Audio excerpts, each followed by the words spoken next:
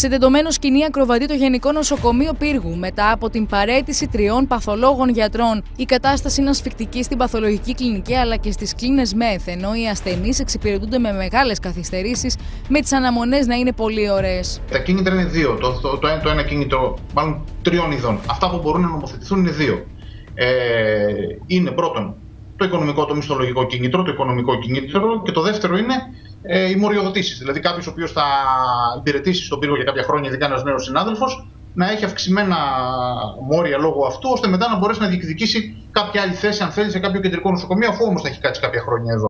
Η κατάσταση στο νοσοκομείο πύργου μέρα με τη μέρα γίνεται όλο ένα και δυσκολότερη, τόσο για το ιατρικό προσωπικό, όσο και για τους ασθενείς.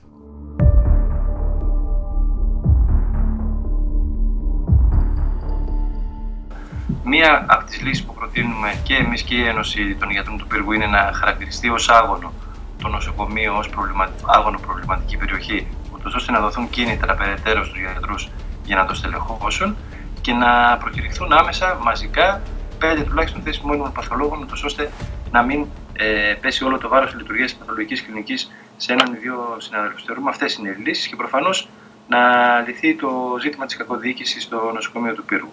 Η ελλείψη σε προσωπικό είναι άλλο ένα πρόβλημα που αντιμετωπίζει το Γενικό Νοσοκομείο Πύργου. Ο φόρτος εργασίας, ιδιαίτερα αυτή την περίοδο με την πανδημία του κορονοϊού, έχει δυσκολέψει το έργο των γιατρών.